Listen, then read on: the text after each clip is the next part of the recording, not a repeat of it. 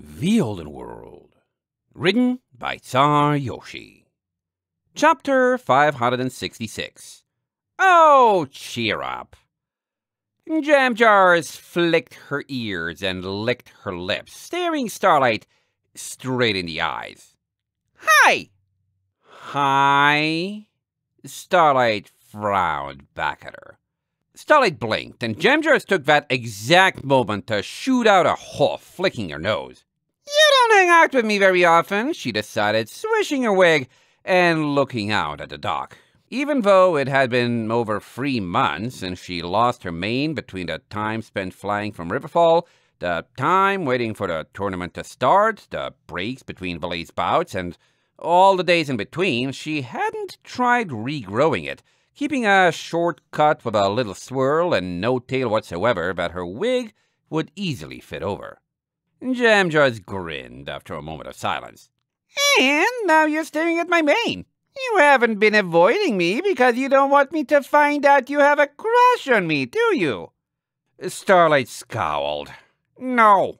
If you're going to be like that, then forget it. I can find something better to do. Hey, lighten up! Jamjar sighed into the ocean air the docks around them mercifully empty for the time being.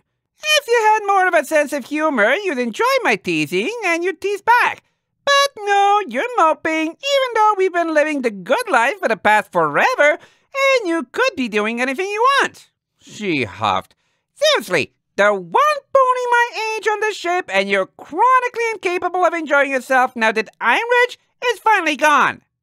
I. Starlight's eyes widened, and she hesitated.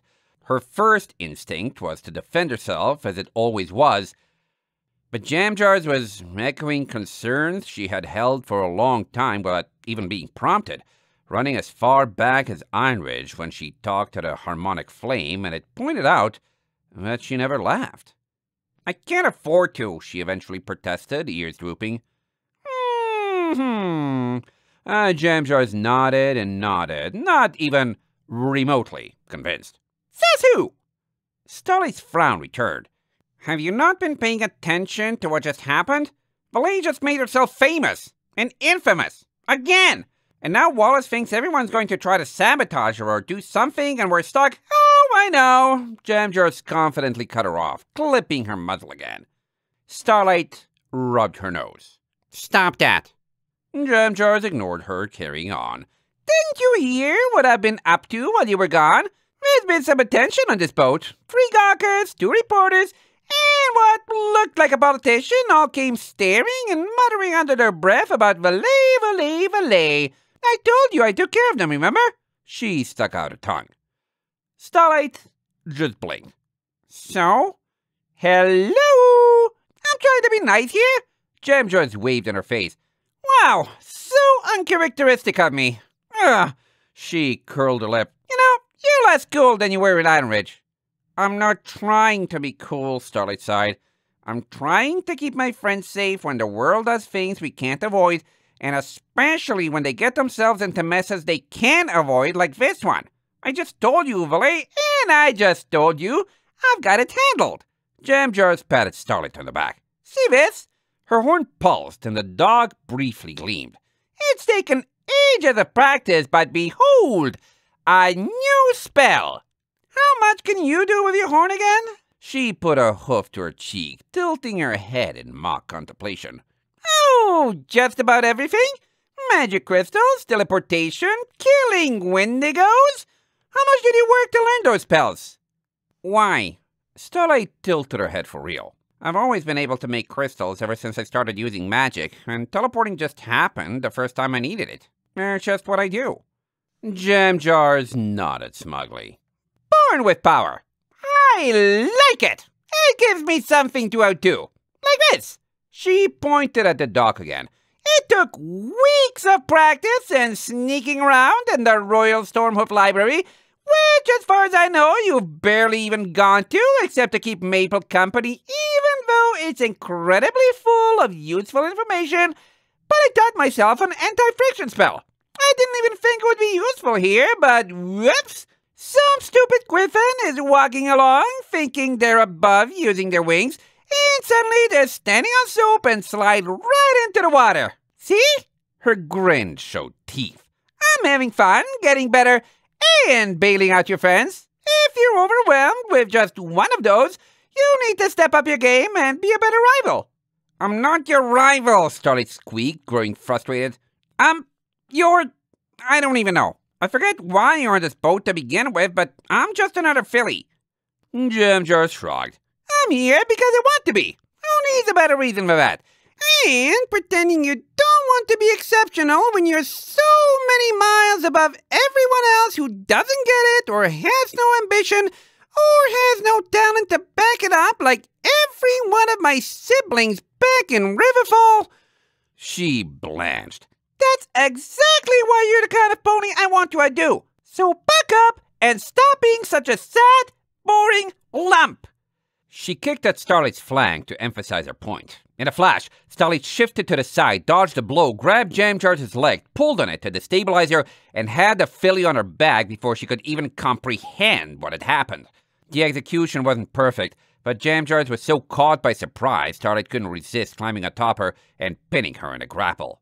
Don't say I'm not doing anything to help my friends, Starlight told her, voice level, their muzzles an inch apart as she stared into Jamjar's wide eyes. I'm learning to do things like this, and it's still not enough. What more do you want from me? Jamjars blinked, realizing struggling was futile, and grinned again. You saw that coming. You good. Maybe you're not being a sloth after all. She perked her ears, breathing just fine despite having Starlight's weight atop her.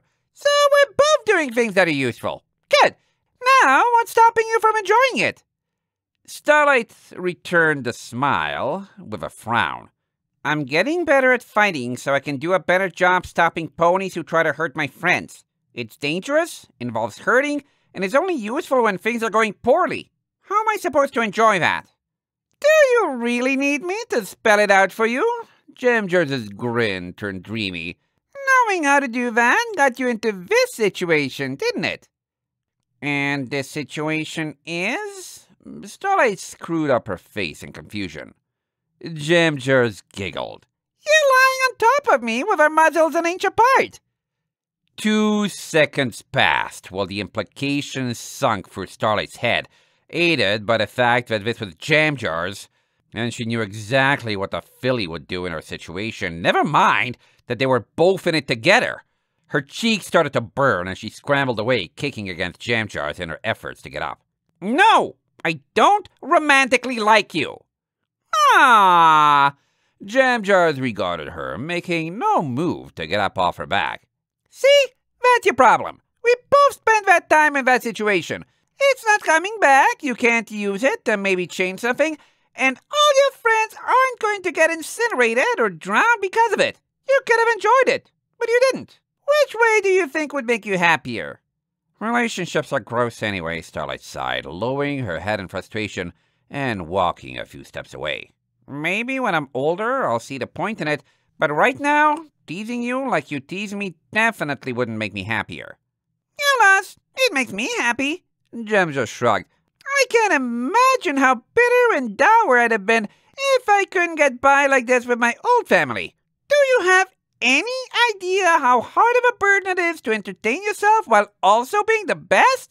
She rolled her eyes. Wait, you don't need entertainment because you don't need to have fun. Right. Look, if you ever decide to meet me halfway and actually try to do something for yourself for a change, I'll make sacrifices too. How about it? Huh? Starlight looked up. Jamjars fixed her with a serious glare. You laugh, and I won't pester you about liking mares for the entire day. Starlight's face crunched in confusion again. But I don't want you pestering me about. You laughing is the point, Jamjars groaned, still on her back, letting her limbs go limp. Ugh, you don't even know what you're missing out on. And I hate to say it, but I don't think I'm exaggerating. Starlight stared, waiting to see if she had anything else to say. You got Vedvo? Jamjars kept watching her. Have a good time where I can see it. I won't make any kissing jokes, invite you to check out the posters in my room, or do anything of the sort. Come on, don't make me false hit you like this. Good? She closed her eyes and plugged her ears with her forehooves, not even getting up yet. I'm not listening to whether you agree or not, by the way. Offers good forever. Forever. Or until I get fed up with waiting, at least. Mutely, Starlight shrugged. If she wasn't taking a response anyway, eh, she'd think about it, though. Good! Jam Jars opened her eyes and finally flipped upright. Now let's... Ooh! Starlight! Shh! Suddenly, Jam Jars was glued to Starlight's side, a foreleg over her shoulders, and forcing her down and out of sight behind a wooden fixture. What? Starlight breathed. Pony, Jamjar's mouth back. Starlight looked just enough to see a mare turning onto their dock, glancing around like she was making sure she was in the right place. Jamjar started to snicker with glee, horn lighting. She didn't need to say anything at all, but didn't even have the chance to. No, that's an I say. Starlight reached up with a hoof and extinguished Jam aura. She's one of our least friends. Sinna, Sue? Uh, Jam Jars blinked, straightening up. Hello? The yellow maned bat pony blinked up at the ship, spreading her wings and hovering to better see. She blinked several times at Starlight, then beamed. I remember you. This is the right place. Is Valet around? I wanted to see her. See? Told you. Starlight couldn't resist shoving Jam Jars, who grinned and shoved her back with an extra flick of her tail. I think you can? Valet is doing things downstairs. Senase landed on the deck, briefly admiring the ship with a low whistle. Nice architecture, she commented, folding her wings. Well, would you mind leading the way?